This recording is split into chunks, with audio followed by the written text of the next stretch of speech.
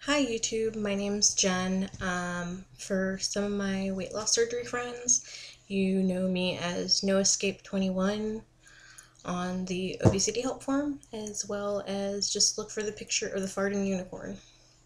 Anyway, it is um, two months till my vertical sleeve gastrectomy in Mexico with Dr. Jose Rodriguez, Villarreal.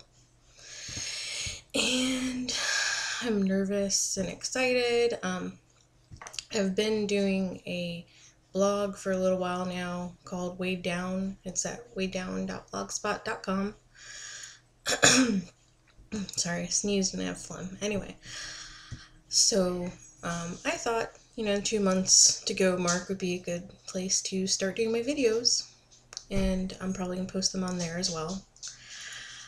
And um, so today I was just going to do a little intro about me. I am 26.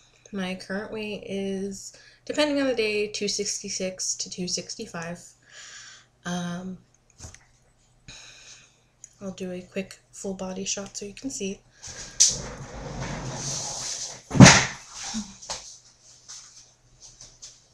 Well, it's not that much full body. You can see most of me though. Oh, yeah.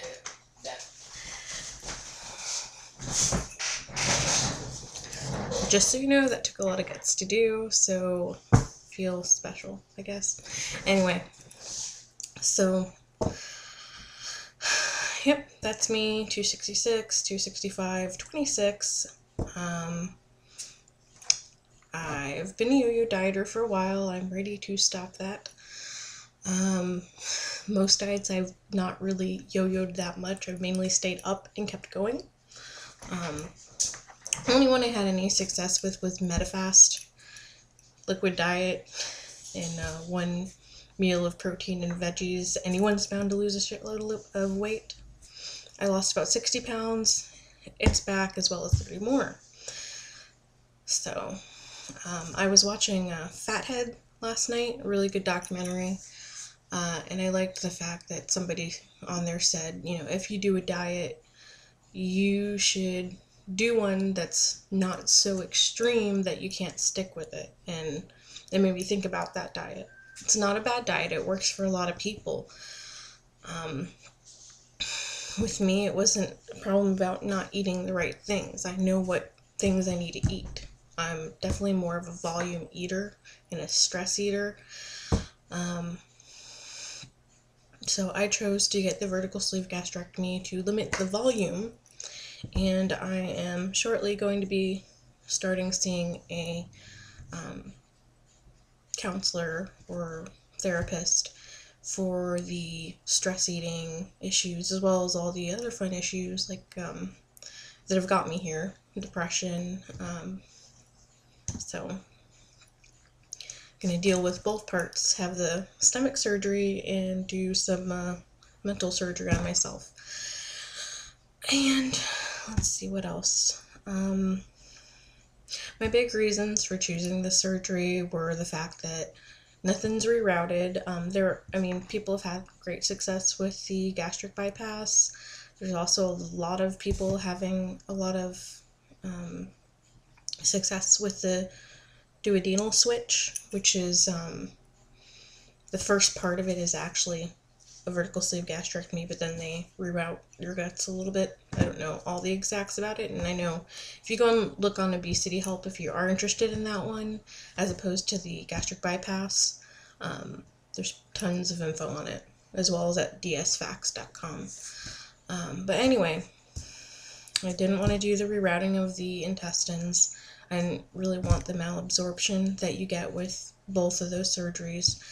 Um, lap band, I thought about, but I was never crazy about it, mainly because you're putting some silicone thing inside you. And um, as well as I did see a lot of complications on obesity help as well. Not to say that there hasn't been a quite a bit of success with it as well. But so I decided I didn't want anything foreign put in me aside from staples, and I didn't want anything rerouted. That was my decision for that surgery. My reason for getting weight loss surgery, period, is I'm 26. which while is still young, I rather not wait till I've had years and years and years to pack on more weight and become really ill. I already was uh, diagnosed with type 2 diabetes in October. It's now March. Um, I'm not on insulin, so good for that. Um, I have knee pain, which at 26 I never thought I'd say. Um, but I know my mom's heavier than me, or actually, she might even be right around the same weight, but she's in her 60s. So, I mean, that would be kind of acceptable to have some pain that. Not that I think she's in a healthy state at all. Um, obviously, um, I'm not expecting to come out of this on the other end and be able to jump right into bikini. Um, there's a lot of issues with skin and stuff that I may have to deal with. Um, that's just a fact weight loss surgery. Sometimes you're lucky and have great genetics and everything just right back in. I may not be so lucky, but I may. Who knows? Um, I am going to work out and um, do a lot of toning to try and help that. And when the day comes, I'll decide whether or not I want to get um, plastic surgery. Though I probably am getting the boobs done regardless because they've just been big forever. Excuse me.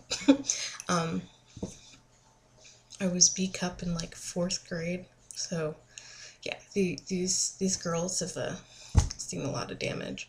So I'm at least gonna get um, looking forward again.